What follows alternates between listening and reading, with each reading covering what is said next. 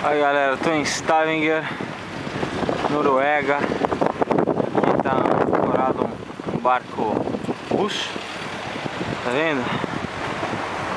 Ó, cidadezinha bem charmosa. É uma cidade portuária. E para variar aquele friozinho, né?